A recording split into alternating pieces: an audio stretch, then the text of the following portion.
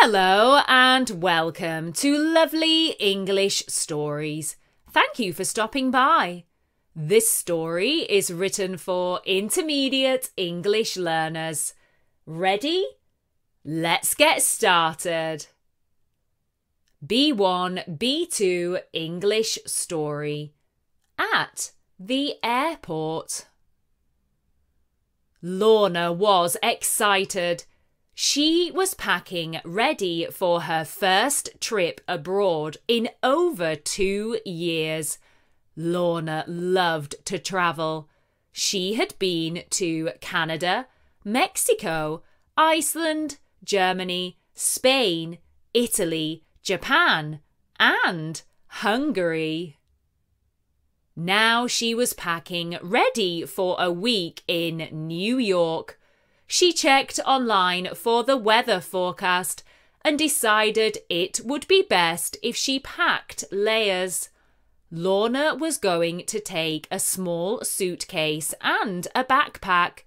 She would also take her laptop, chargers, and any medicine she might need.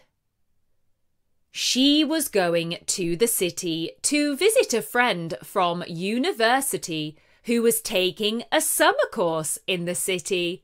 She would have free accommodation. Lorna had applied for her ESTA online and it was successful. ESTA stands for the Electronic System for Travel Authorization. Anyone who wants to visit the United States from the UK must have an ESTA before they are allowed entry. Once Lorna had her ESTA sorted, she booked her flights and organised health insurance. Lorna was going to fly standard class. She had never flown first class before. Maybe one day, she chose a reliable but affordable airline that was flying out of Heathrow, close to where she lived. As Lorna packed, she made sure she had all her important documents together in her backpack. These included her passport, details of her hotel, a paper copy of her ESTA, and any vaccination details she might have to show to the border control staff upon entry, and some local currency. After Lorna had everything sorted, she had a shower and set her alarm for 4 a.m. She had to get to the airport with at least three hours to spare. In the morning, her alarm went off. She got dressed, packed her last toiletries into her suitcase, and made her way to the airport. She parked in the airport car park and caught the shuttle bus to her terminal. Once she arrived at the terminal, she went through the door marked Departures. She then checked a huge board that detailed all of the flights that were due to depart that day. There were hundreds of them. She found her flight number and made her way to the correct check in desk. Once there, the staff members checked her booking and passport, weighed her luggage, checked in her suitcase, and gave her a tag for her cabin bag. Luckily, both her pieces of luggage weren't oversized or overweight. They printed off her boarding pass and explained what time she had to be at the boarding gate. Lorna had almost two hours to get through security and have a look around duty free and the other airport shops. Security, as always, had long queues. Lorna was a little nervous, as she was always scared that she might set off the alarms, or she might have something she was not supposed to have in her bags.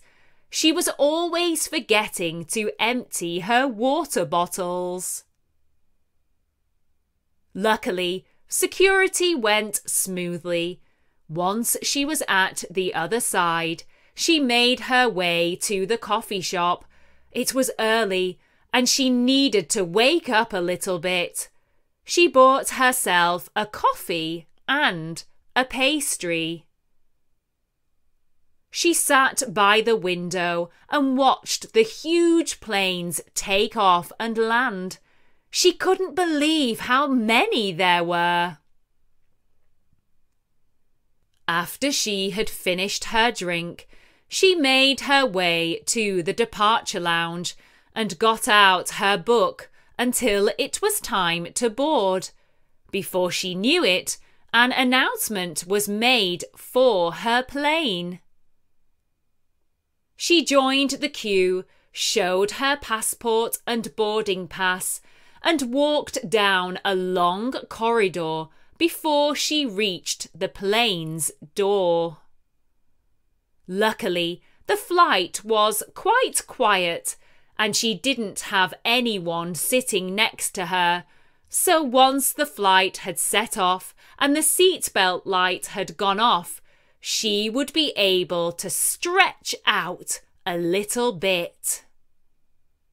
The cabin crew closed the plane door and started to do their checks. Before she knew it, the plane had started to move and the cabin crew were doing their safety announcement. The pilots made an announcement welcoming everyone to the aircraft, and then suddenly they were in the air, coasting above the clouds. It was beautiful. The flight was a flurry of refreshments, food, films, and more announcements. Lorna managed to have a nap and didn't feel too tired by the time the pilot announced that they were beginning their descent into New York. They had a smooth landing and didn't have to wait very long before they were allowed to alight the plane. Then Lorna made her way through to baggage reclaim picked up her suitcase, went through passport control, and walked to arrivals, where she was greeted by her friend. Let's go through some of the airport related vocabulary you have heard in this story. Abroad. Abroad. If you go abroad, you go to a foreign country to pack. Pack. To pack is to put something into a bag or a box or a container. Suitcase. Suitcase. A suitcase is a large, usually rectangle shaped container with a handle. Backpack. Backpack. A backpack is a bag with straps which you put over your shoulders. Arrivals. Arrivals. This is the area of an airport where passengers have just landed and arrived. Departure. Departure. This is the act of going away somewhere. Check in. Check in. This is the area of an airport where you show your ticket to get on a plane. Cabin baggage, carry on luggage, and hand luggage, these all mean the same thing. They are the luggage that you take with you onto the plane. Passport control. Passport control. This is a place at airports, ports, or borders where passports are checked. Cabin crew, cabin crew. These are the people who work in an aircraft and look after the passengers. Currency, currency. This is money that is used in a particular country. Pilot, pilot. This is someone who is qualified to fly an aircraft. Q. queue. This is a line of people waiting for something. Terminal, terminal. This is the area of an airport that is used by passengers leaving or arriving. Boarding gate.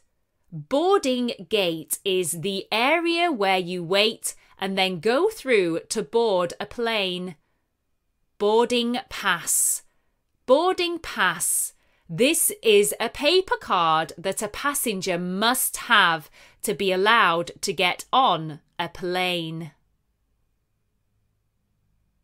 Security. Security.